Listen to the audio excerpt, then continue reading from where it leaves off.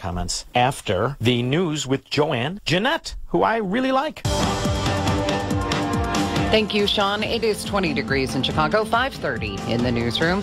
Illinois' DMVs and Secretary of State offices began their two week long closures today due to reports in a surge of COVID cases across the state. As of now, those offices will remain closed until January 17th, but services still being offered through the Secretary of State's website. Chicago's proof of vaccination mandate went into effect, covering the city and Cook County suburbs today. Proof of vaccination needs to be in a physical card or through Illinois Smart Health Card Pass using a smartphone to enter bars, restaurants, or gyms. The vaccine mandate does not apply to churches or grocery stores unless those markets offer dining service. Illinois police are warning of a scam raising money on the GoFundMe website using the name of Sergeant Marlene Rittmanic of Bradley, who was killed last week in the line of duty. Bradley police issued a Facebook warning about scammers using fake accounts. They say if you see a fundraising page for the sergeant, you can report it to police. If you've made a donation already, police say ask for a refund. News is a service of Salem Surround. Receive a free evaluation to determine the digital presence of your business and learn how Salem Surround can help you surround your target target audience. Go to surroundchicago.com today. Your next news update coming up at 6 o'clock. Continuous coverage of the latest news, traffic, and weather at 560theanswer.com. At 531 on AM 560 from the Traffic Center with the check on the roads, here's Jill Erchak.